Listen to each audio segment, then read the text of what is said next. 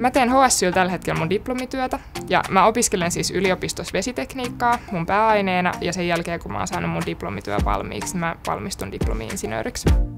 Mä teen käytännössä mun diplomityönä elinkaarianalyysiä sekä tästä jäteveden puhdistusprosessista että sitten siitä mullan tuotantoprosessista, missä käsitellään lietettä, joka tulee jäteveden puhdistamolta. Eli siis mä mallinnan niiden elinkaarta ja lasken niiden ympäristövaikutuksia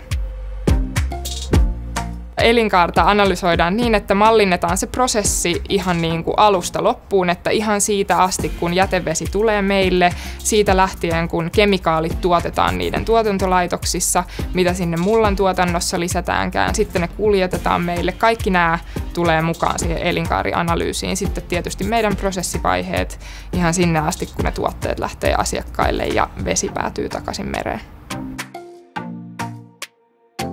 HSYltä on kyllä saanut tosi hyvät puitteet diplomityölle, että täällä niin on tosi avuliasta porukkaa ja on saanut tehdä itsenäisesti, mutta kuitenkin kaikessa tuetaan ja autetaan, mitä sitten tarvitseekaan kysyä.